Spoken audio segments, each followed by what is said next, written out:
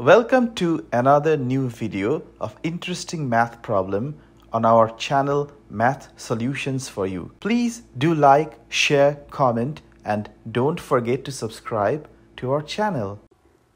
ABCD is a quadrilateral whose diagonals AC and BD meet at the point O.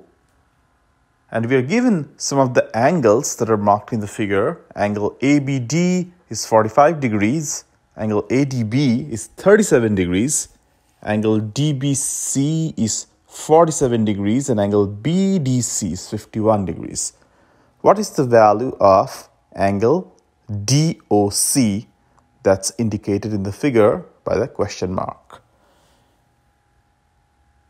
We start this problem but by first of all noting that if you take the sum of these two angles, angle ADB and angle BDC, you get this big angle that's marked in blue, namely angle ADC. So that's one of the angles of the quadrilateral. And that will be the sum of these two constituent angles. So angle ADC will be 51 degrees plus 37 degrees, which makes 88 degrees.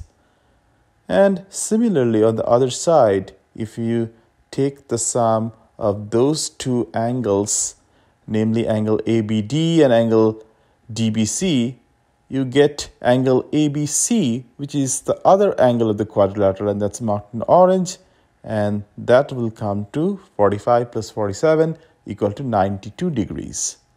So we got the two angles of the quadrilateral, angle ADC and angle ABC, and if we sum these two up, note that these are also the two opposite angles of the quadrilateral. So if we take their sum, that comes to 80 degrees plus 92 degrees, which is 180 degrees. And this is the critical part of the problem, realizing that since the sum of the opposite angles of the quadrilateral that's given in the figure is equal to 180 degrees, then this quadrilateral is a cyclic quadrilateral, meaning that the points A, B, C, and D will lie on a circle. And let's draw out that circle approximately. So the circle is supposed to pass through the points A, B, C, and D. And I have shown that by the dotted line. And I haven't done a perfect job of fitting the circle to the, to the through the points A, B, C, and D. But basically, you get the point. So the points A, B, C, D will lie on the same circle, uh, A, B, C, D being a cyclic quadrilateral.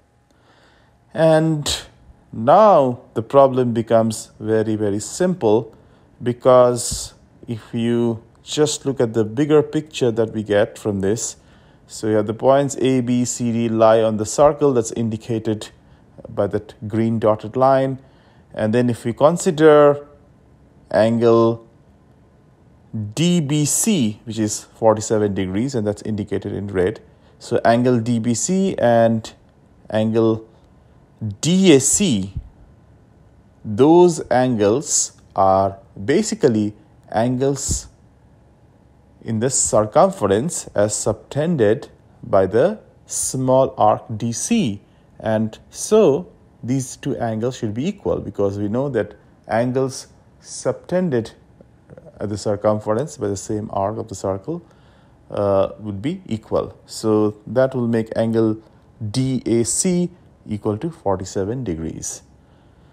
And now if you consider the angle that we're asked to find out, the, that one in question mark, that's basically the exterior angle of triangle AOD and we know that the sum of the two interior opposite angles should equal the exterior angle.